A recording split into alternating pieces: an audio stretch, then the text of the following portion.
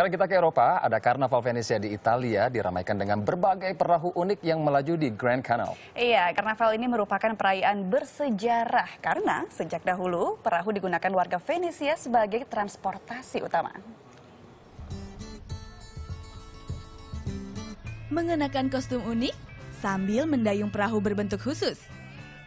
Melaju di tengah-tengah kanal di Venesia, Italia.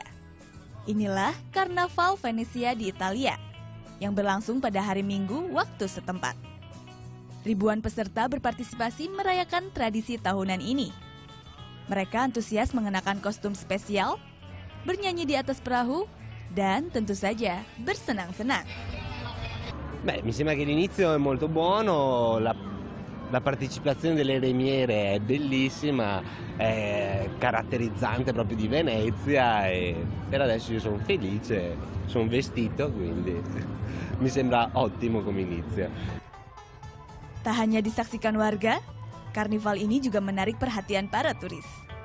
Mereka berkumpul di tepi kanal untuk menyaksikan langsung kemeriahan parade perahu. Uh, just a really vibrant atmosphere, great people, great food.